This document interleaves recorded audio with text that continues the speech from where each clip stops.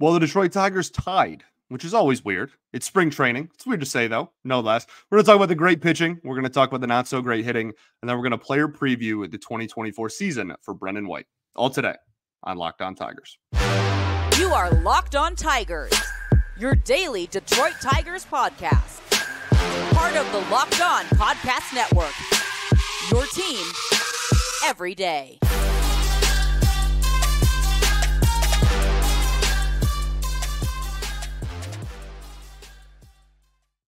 What is up, everybody? Welcome back to another edition of Locked On Tigers. I'm, of course, your host, Scott Bentley. Today is Wednesday, March 20th, 2024. Thank you so much for making Locked On Tigers your first listen every single day. We are free and available wherever you get your podcasts, including YouTube, part of the Locked On Podcast Network, your team every day. Today's episode is brought to you by Game Time. Download the Game Time app, create an account, use code Locked On for $20 off of your purchase. All righty, welcome in everybody. Happy Wednesday to all, the halfway point of the week here.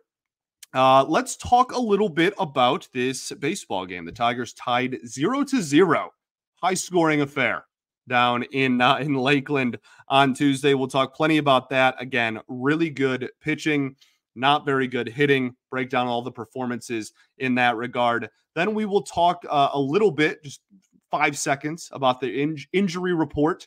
Uh, and then we will end by talking about Brendan White and his 2024 campaign. Obviously, is not going to start the season on the major league roster, but somebody who ended up pitching almost 41 innings out of the bullpen for the Detroit Tigers last year um, and is still on the 40 man roster. I'm I don't want to say I'm sure, but again, injuries happen. They're going to go through a lot of pitchers. Would not shock me if he got another decent opportunity in the majors at some point this year. So we'll talk about him. Let's start off by talking about this ball game, though. Um, also, I'm recording this right after the Wings overtime win over the Columbus Blue Jackets. A very, very fun hockey game on Tuesday night. Uh, hopefully, I can get the season on track. We're hoping. Okay. You can listen to Brian and I talk about that over at Locked On Red Wings.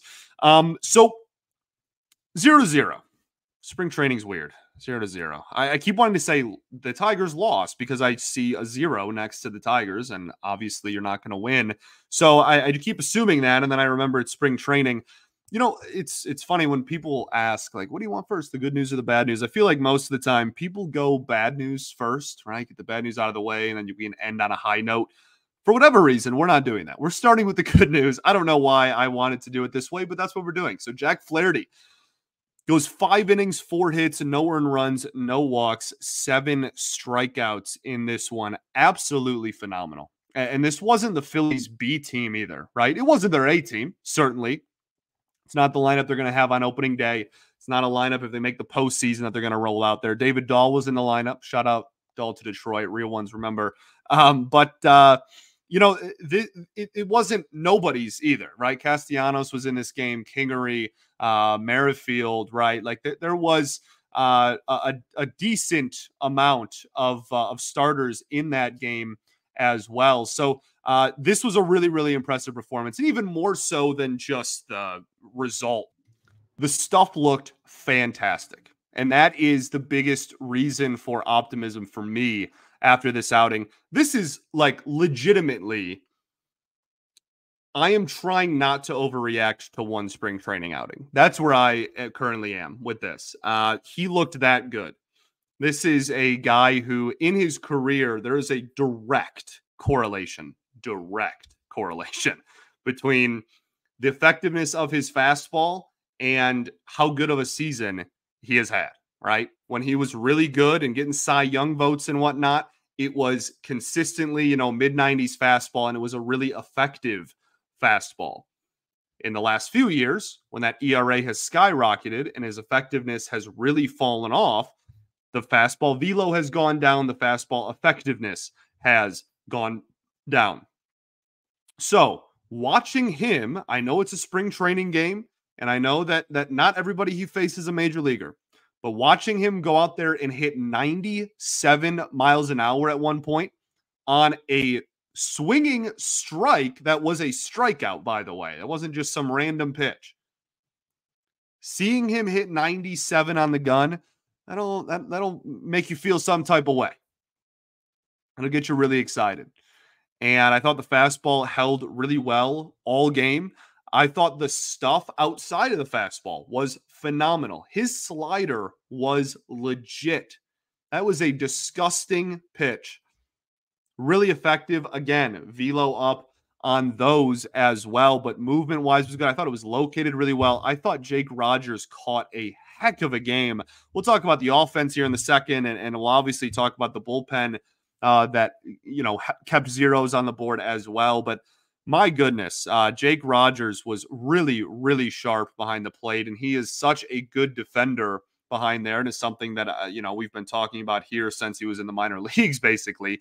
Um, he has, uh, I think, a lot of the pitchers consistently talk about how well he handles the staff. I also think there's room to grow still with him, right? This is a, a guy that um, before Tommy John had was known for having a really good arm. And not that it was bad last year, but I even think, you know, we talked about that earlier in the year. He's talked about it, right? Some of the beat writers have, have asked him about it as well. There might even be some room to grow a little bit more and get back to pre Tommy John kind of arm strength with him. So that's all really exciting stuff. And uh, I'm very, very optimistic.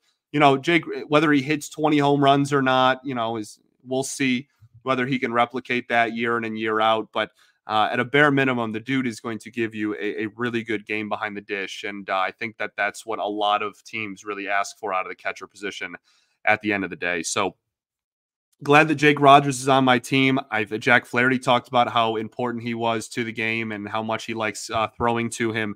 And Jack Flaherty looked absolutely stellar. So again, not trying to overreact too terribly much to one spring training outing, uh, but he was even at a point where I, I was somewhat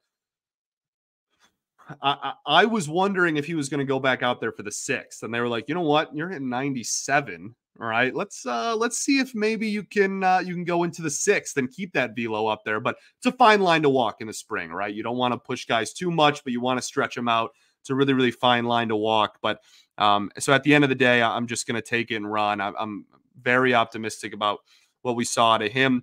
Uh, so we've talked about that. We talked about Jake Rogers a little bit.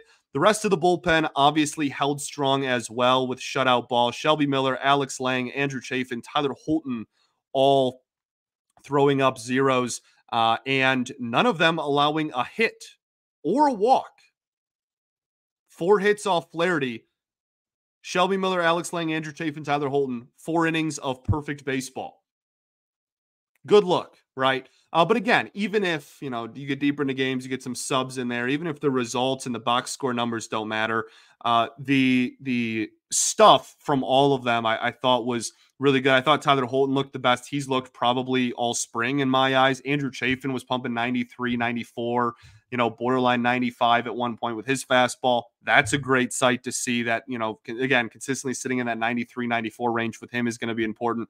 Shelby Miller, I thought looks really good. That splitter can obviously be a swing and miss pitch, but I think it can be a really good ground ball pitch too. And and just uh, I I really liked what I saw out of him. He has a zero ERA in the spring, not a boatload of opportunities, but still for you know he's looked really sharp and had a just a fantastic year last year for the Dodgers. So that's good. Alex Lange, the last player we'll talk about. We'll do that right after this.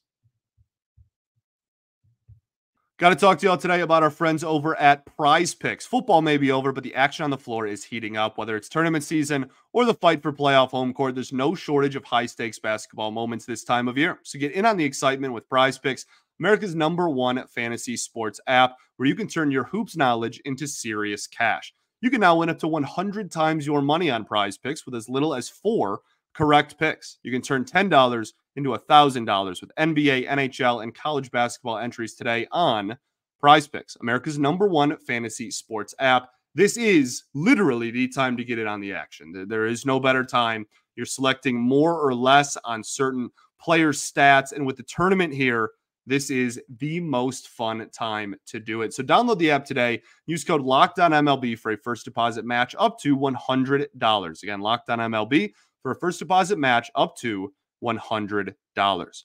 Pick more, pick less. It's that easy. All right, everybody, welcome back here. Segment two of Locked On Tigers. Appreciate you all for tuning in. making us your first listen every single day. Shout out to the everydayers that do tune in every day. We will be back tomorrow. Uh, as you know, also Locked On has launched the first ever national sports 24 7 streaming channel, Locked On Sports Today. Baseball fans, mark your calendars for today, March 20th at 7 p.m. Eastern.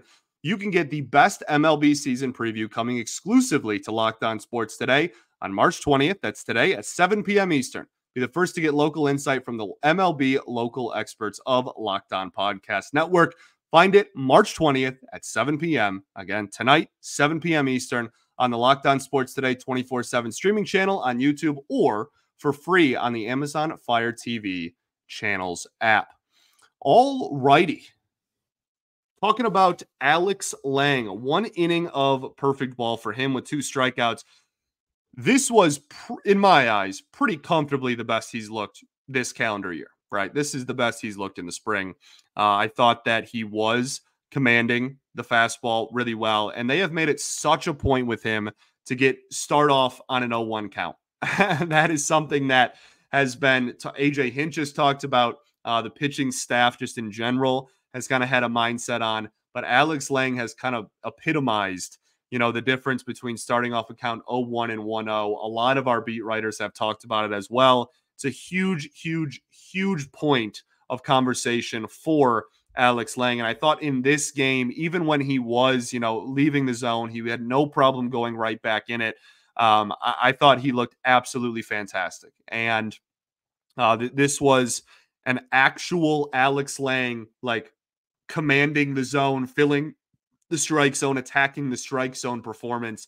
And uh, again, it's one performance in spring. I'm not saying he's like fixed and he's just going to be, eh, you know, uh, a 1 8 ERA reliever all year now. But it's good to see that, uh, you know, this close to opening day, that it seems to be clicking for him. And hopefully he can carry that into the regular season. Because uh, when, he is on, and we talked about this in his player preview, Alex Lange, who doesn't walk that many hitters, would be like the greatest reliever in baseball. Like that's how good he is. It's just he he has a a flaw, and it is to the max. It, it is really, uh, again, he's like bottom five percent, bottom two percent at points in walk rate uh, throughout the year last year. So uh, it's just really, really dramatic and, and uh, a huge one that he has to address. But uh, I thought looked really, really good in this outing.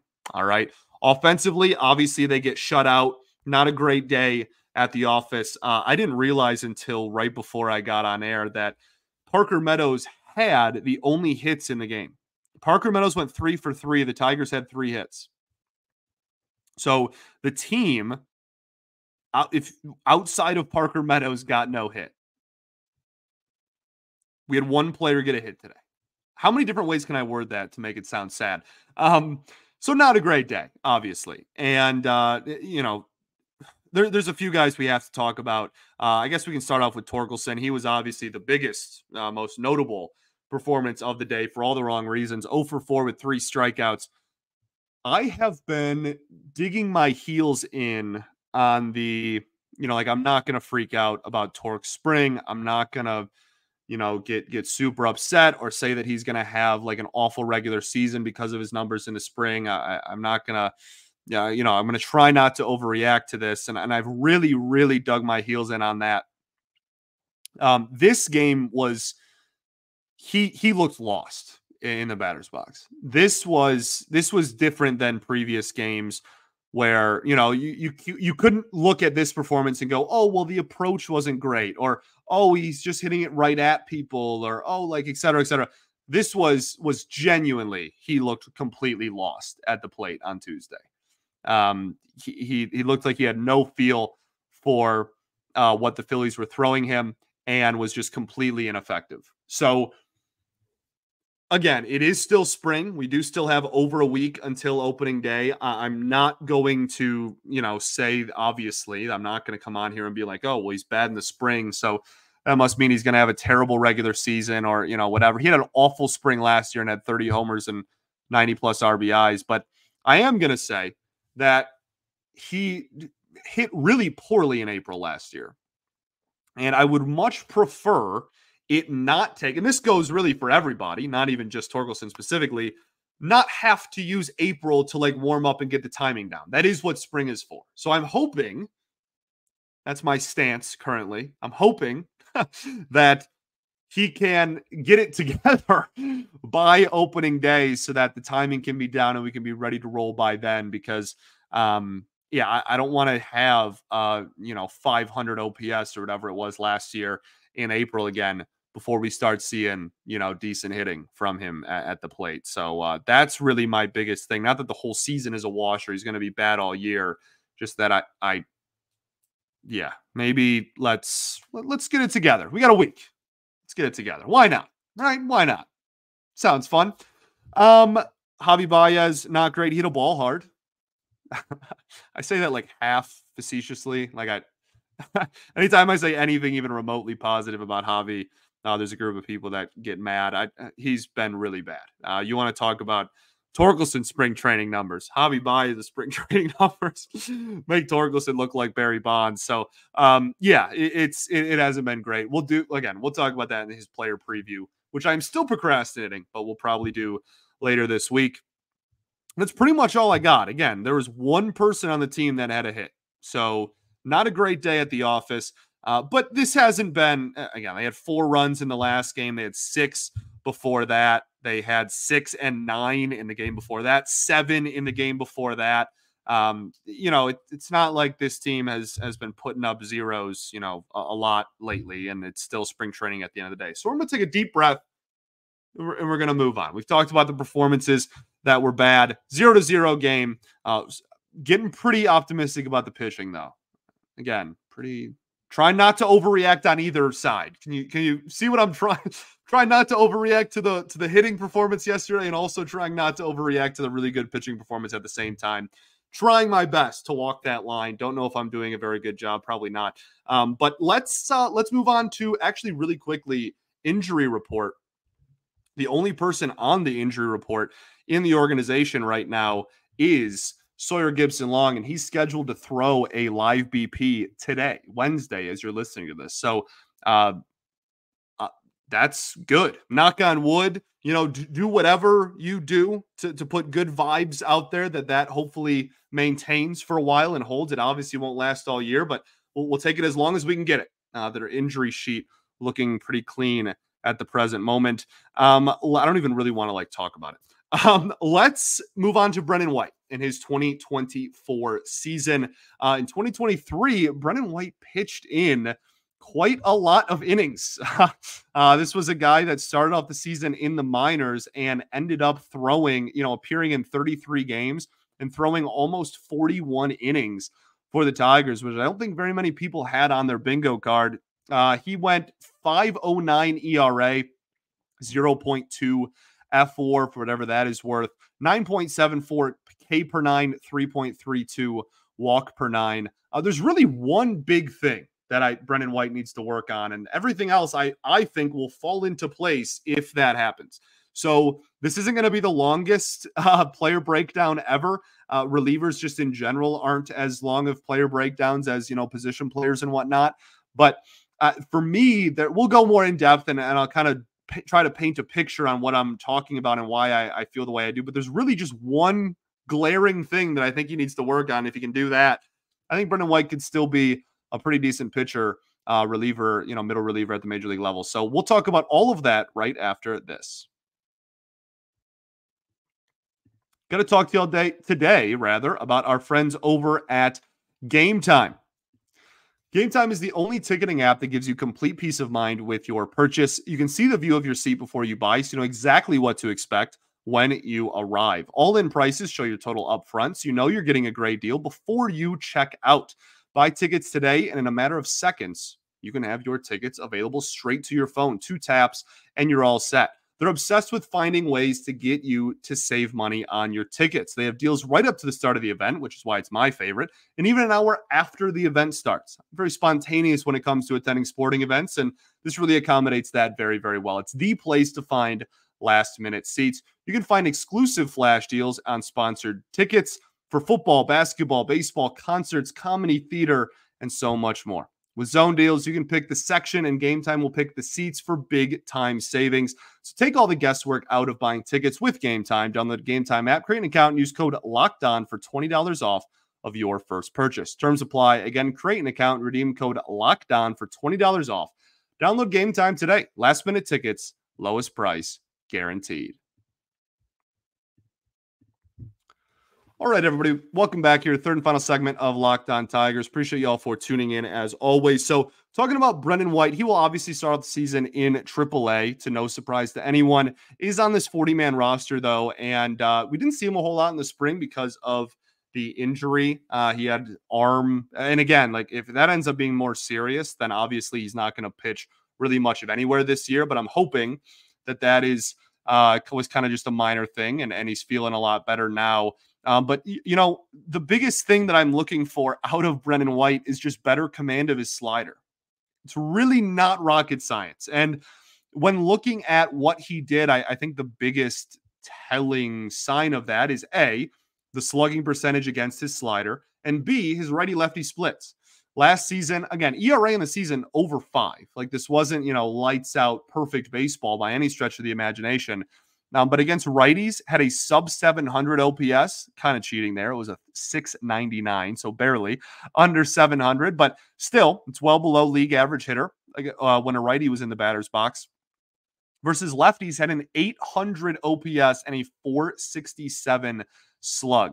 Uh, in total, against righties and lefties, his slider had a 400 slug against. Now, Against righties, it was 306. It's not bad, right? Against lefties, it was 643. Really, really bad, right? That's like really high. That is that's gonna be one of the higher slugging percentages in all of baseball. so and his four seam fastball was really, really effective against lefties. So my point being, one of two situations has to happen here. One, he's just only going to be used against righties going forward. And it's just going to be AJ Hinch is just going to play matchups and he's just going to go in against kind of righty heavy lineups. And that's going to be that. And he's going to be a middle reliever that is a righty specialist. And that's very real possibility. That could be a thing, right? Fastball slider guy makes sense. Okay. Or I guess there is a reality in which he develops a changeup or a splitter or something to be more effective against lefties. Or, or option C, I guess, his slider becomes more effective and he works on it so that it can be an effective pitch against lefties. We've seen it before, right? Alex Faedo's slider, we just talked about earlier last week, effective against both righties and lefties. Brendan White has not shown that at the major league level. It's effective against righties. He gets a lot of swings and misses. He can throw it low and away. He also just has a tendency in general to righties or lefties. That slider will hang over the heart of the plate every once in a while. And so I, I think command of that pitch is really just of the utmost importance. And that sounds like super simplistic, but uh, sometimes making it simple is is the way to go. And, and I think that uh, that is really the biggest thing that I'm looking for out of him this season. Uh, I again, I expect him to pitch in the majors at some point. He won't obviously make the major league roster, but I am I am expecting Brendan White to pitch, you know, what, 15 to 30 innings maybe for the Detroit Tigers at some point, just because the Tigers are obviously going to go through a lot of relievers, et cetera, et cetera. Uh, we've talked about that a lot, right? Pitching depth matters a boatload. You're not going to stay fully healthy in your bullpen. You're certainly not going to stay fully healthy in your starting rotation throughout the course of a year. So expect Brendan White at some point. He's on the 40. Um, and that is like really it uh, I mean, uh, he had really good chase numbers, right? To prove my point, that slider got a lot of righties chasing, got a really good whiff numbers, right? That slider, again, got a lot of righties uh, whiffing 42% whiff rate on his slider. That's really good. His four seam fastball against lefties had a 40.6% whiff rate. That slider number was actually only against lefties as well. So uh, has the ability to get swings and misses just when he when he misses his spot, that ball goes gets absolutely crushed. And that's something that just in general we saw far too often last year to be a consistent middle reliever at the major league level. but the fastball grades out pretty well. It was a pretty effective pitch last season. The slider, we've eh, eye test numbers, whatever, has the ability to be pretty good. That thing moves a boatload. But when he misses, he misses a lot. And the way that his slider is shaped, it it hangs. and it, you know, you hang, we bang. Like it has the, the the hitters have the the ability to to hit that ball really, really far. So that's pretty much all I got as far as expectations. Aside from just, uh, I've already mentioned a billion times, the fact that he pr- will probably be up here at some point. If we can even just get sub four five ERA ball out of him, that's fine, right? Uh, that is that is effective. He can be, you know, eat some innings, be a righty, more specialist guy. Uh, eh, you know, middle relief, not super high leverage type of uh type of pitching. I think that there is a role for him still on this team going forward. He has good stuff. He has really good stuff. It's just a matter of getting that command down and if if he gets the command down and he's still not effective against lefties, then they're going to have to just fork in the road. Hey, you're either only going to face righties or you need to develop a changeup slash splitter to use against lefties. That's pretty much it. That's all I got. I like Brendan White a lot. He was on the show really big, just like baseball and analytics guy. Really loves the numbers of the game. Um, I, am a huge fan of his. Hopefully, he can uh, he can kind of reestablish himself this year because uh, we saw flashes last season, obviously, but need that more consistently and need the command a lot more consistently, which I'm sure he's aware of as well. Okay, I'm trying to think if there's anything else. I think that's it. Thanks for making Locked On Tigers your first listen every single day. Shout out to the everydayers that do tune in every day. We will be back tomorrow we got a few more player previews left. I think we have four remaining after Brendan White today. So three, yeah, four left. So we will certainly be done just in time for opening day. Uh, and we will also obviously continue talking about spring training baseball, etc. All right. Peace and love. Going to therapy's dope. I'll catch y'all then, baby. Go Tigers.